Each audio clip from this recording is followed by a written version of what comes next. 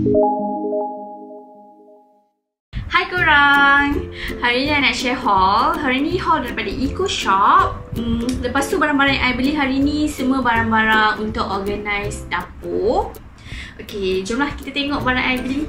Barang first yang I nak share dengan korang uh, Ni. Okay, uh, bakul Bakul ni dia ada pemegang tau dekat sini So kalau korang perasan dekat video haul uh, Yang Eco Shop yang lama-lama dulu tu kan uh, I ada beli yang lebih kurang macam ni Warna putih. Okay yang ni Beza dia dengan yang tu Yang ni bawah dia pun macam Lubang-lubang juga. Kalau yang tu bawah dia Dia apa? Macam tertutup lah kan. Lepas tu yang ni dia rendah sikit. So I beli ni Actually untuk letak buah-buah Supaya dia lebih bernafas lah kan Ataupun sayur-sayur lah. And yang ni dia rendah.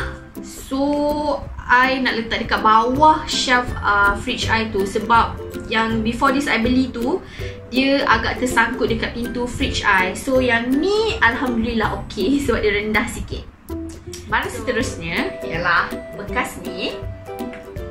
Okay Yang ni I beli untuk letak mixer Hand mixer I dan barang-barang dia. Sebab before this, I simpan hand mixer macam berasingan. So each time I nak guna hand mixer, I nak cari dia punya aksesori tu susah. So yang ni adalah salah satu bekas yang besar dekat Eco Shop Yang I jumpa dan I rasa muat And Alhamdulillah muat. And dia luas lah dalam dia macam ni Lepas tu dia punya penutup ni quite secure. Lepas tu dia ada pemegang macam ni. So, I rasa nanti I tinggal label je dekat sini Hand mixer. So, senang. Each time uh, I nak guna, I just grab ni.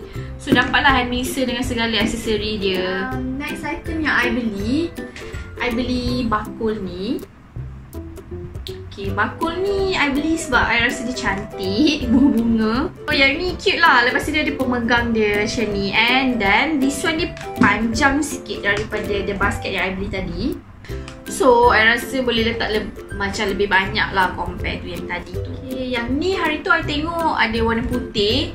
Dengan satu lagi warna tu I tak ingat warna apa. Tapi yang ni cute lah, cantik. I think mm, kalau nak beli untuk organize uh, shelf yang I mean utility shelf tu kan pun cantik. Uh, uh, next item yang I beli, I beli ni. Okay, yang ni magazine organizer. Okay, I beli ni sebab I suka tau dia boxy macam slit gini. So, kalau uh, nak gantung dekat sebab I memang nak letak dia dekat pintu almari. So, kalau macam ni dia melekat elok lah kan kat pintu almari. Lepas tu dia ada macam lubang-lubang ni. So, senang. I tinggal uh, paku ke apa kat almari tu. Screw ke dia just gantung je. Untuk organize I punya uh, ziplock bag, aluminium foil tu kan So yang ni I rasa cantik lah bila kita gantung sebab dia rata je permukaan dia Before this I tak jumpa lagi yang betul-betul uh, boxy macam ni Kalau ada pun kertas So kalau kertas I tak berapa prefer lah sebab takut tak tahan kan Kalau plastik ni dia tahan uh, Next item I beli container I beli ada dua, ada dua jenis lah So jenis yang pertama yang macam ni Okay, ni in a pack of two. Yang ni ada dua warna. Satu lagi tu dia clear. Dia punya bawah ni clear, atas penutup dia pun clear. Hmm, tapi I beli warna hijau. Obviously because I suka warna hijau. And yang ni penutup dia tak lah macam ketat sangat. I beli container ni untuk letak cili. So, I sukalah ada fact yang penutup dia tak berapa uh, ketat sangat. Sebab kalau ketat-ketat nanti I nak cepat. Tu boleh menjadi punca angin-angin. Container yang lagi satu ni uh, in a pack of three. Okay. Yang ni atas dia ada macam bentuk diamond-diamond lah. Tapi dia pun sama. Macam ni. Okay. Yang ni I beli untuk letak daun bawang, daun sup yang I dah potong dan I frozekan dia. So yang ni penutup dia ketat. Ha. Ketat macam tu. Tapi it's okay sebab senang je nak buka. Lepas tu just nice lah. Ada tiga. So I boleh letak daun bawang, daun sup dengan daun ketumbar. Last item yang I beli, I beli bakul ni. Okay, bakul ni I beli untuk letak uh, cordial untuk organize dia lah macam sirap, hmm, sunquid, apa lagi Revina macam tu. So I suka sebab dia tinggi. And bila dia tinggi, bila kita letak botol tu dan bila kita tarik, dia tak jatuh lah kan. Lepas tu dia luas and then dia punya plastik quite sturdy lah. So that's the reason why I beli. Sebenarnya I nak guna satu je.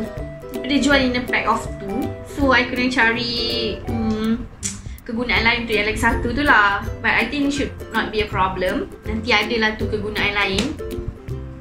So itu je haul I untuk hari ni daripada Eco Shop. Hmm, sebenarnya banyak je lagi barang um, apa organizer yang I nak beli.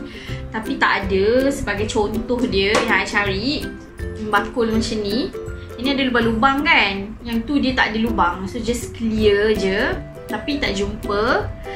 Uh, Lepas tu cari juga botol sos Yang tutup dia tu macam penutup shampoo tu. Senang kita buka Pun tak jumpa. So harap-harap berjodohan lah lepas ni dengan benda-benda tu. So that's all untuk hari ni. See you on my next. Bye-bye